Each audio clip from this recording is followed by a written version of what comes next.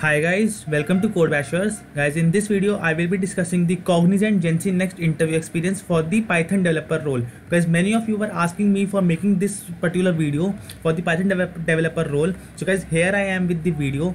Guys, this this interview happened recently only on 27th august 2021 so guys make sure that you watch this video till the end so that you can get to know the type of the questions which are asked from this candidate.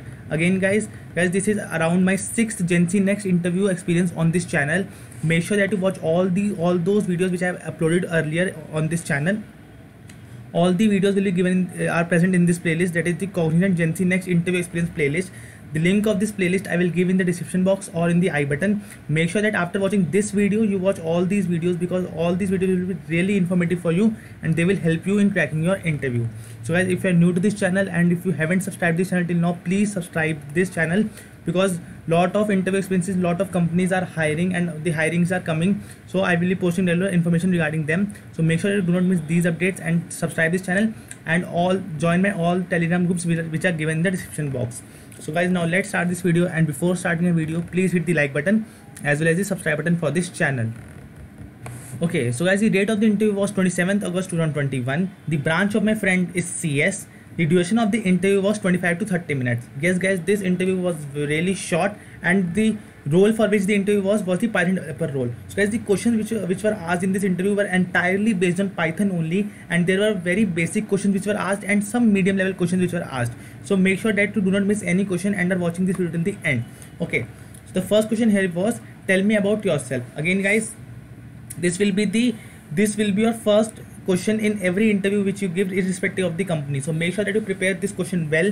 You only mention those skills in which you are comfortable in. Mention your you can mention your projects internship your extracurricular activities what are your hobbies? All these things you can mention in your tell me about yourself. Okay. Now the next question was you have to write the hello world program using a class. Now this is the reference code that i have given. You can take the screenshot of it. This is how we can print hello world using class. In this we have simply print hello world inside the constructor that is the init function in python. Okay. Now the next question is what is the difference between list and tuple?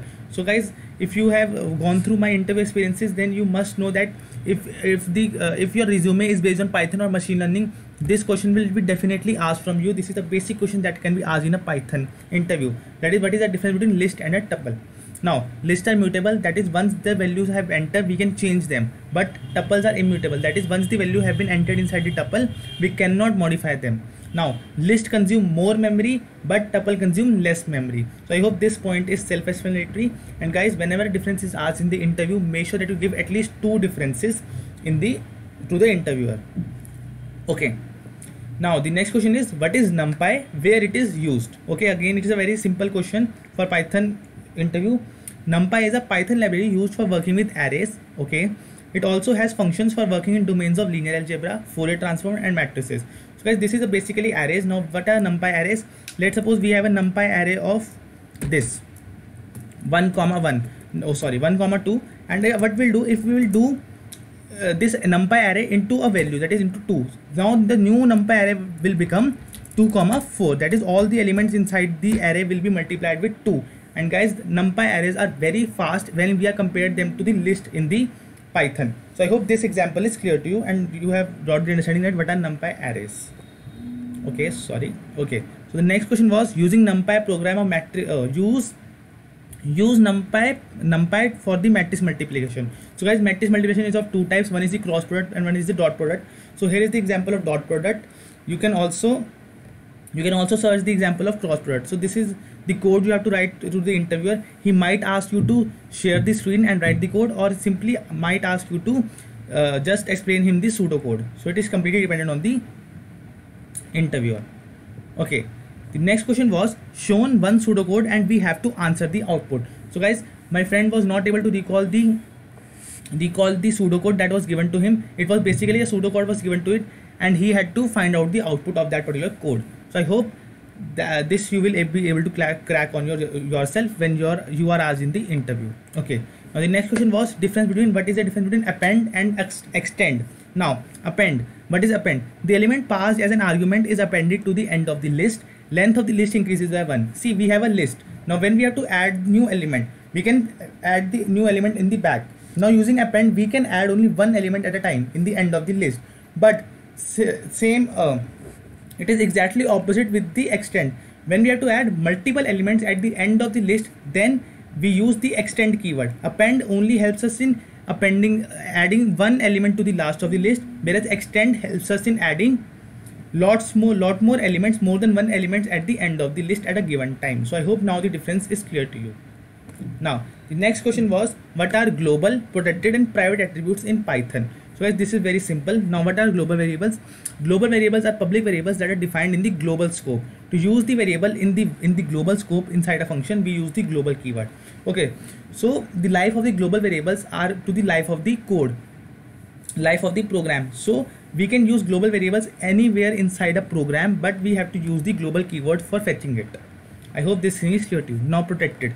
Now protected attributes are the attributes defined with an underscore prefix to their identifiers so let's suppose Sara is the name of the protected attribute but once we have once we have put a single underscore outside it then it means that it has become the protected keyword it has become the protected attribute now private the private attributes are the attributes with double underscore prefix to their identifier. So in protected single underscore was there and in private double underscore was there in, in front of the attribute. Now they cannot be accessed or modified from outside directly and will result in attribute error if such an attempt is made. So as we all know that private attributes cannot be accessed directly outside the class, they can only be accessed through the functions, through the public functions of that class. So I hope this thing is clear to you. Now next question is what is slicing in python? So guys those who have done some programming in python they must have encountered this term that is slicing. Now what we do we have an array and we just slice the part of the array. That is if we have three uh, 10 size array we have to just pick up third fourth and fifth element. Then in that case we will be using slicing okay so this is the syntax of slicing that is start stop and step. Here start means the start index. Stop means the stop index. That is stop index and step means that how many steps we have to take in between just like a for loop you can say. Now i have told you this only. Now default value of start is 0 and stop is the number of items that we want. So i hope this thing is clear to you. This is what a slicing in python is. Now next is what are generators in python? Again guys this is a this is a little medium level question. Not all can answer this question again you can find uh, i will try to give the link in the description box for this particular answer. Now the last question on the technical round was what explain split and join function in python. So guys uh, you can understand by name only that split means we have to break the array and join means we have to join the array. So you can use split function to split a string based on a delimiter to a list of strings okay? And you can use a join function to join a list of strings based on delimiter to give a single string. So split means uh, split means we have to split this given string based on a delimiter and join mean we have to join multiple strings based on a delimiter. So this is what a these this is what a functions is. So guys this was it for the technical round interview. Now there were certain hr questions which were asked from him. So guys hr questions are basic only and they are common for all these uh, all the companies. That is what are your strengths? You should give at least two two of your strengths and you should give the reason. The real life example that how you encountered that these are your strengths now next was where do you see yourself in next five years? So again guys this is you can there are multiple sample answers that are given in the on google. If you want me to make such video please like this video and comment down that you want me to make that how you have to explain yourself in next five years. Now what are your long-term goals?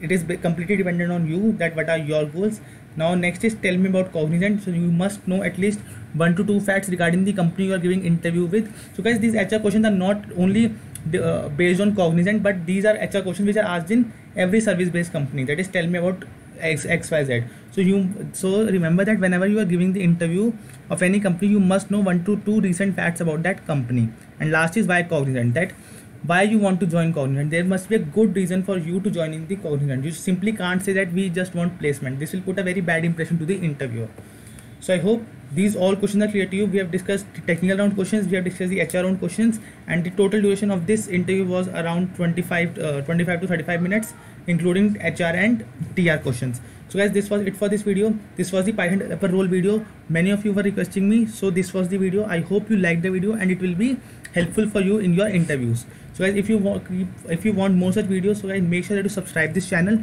And guys please join my all the telegram groups that are given in the description box because lot of stuff was posted and will be posted in coming months. So guys this thank you for watching this video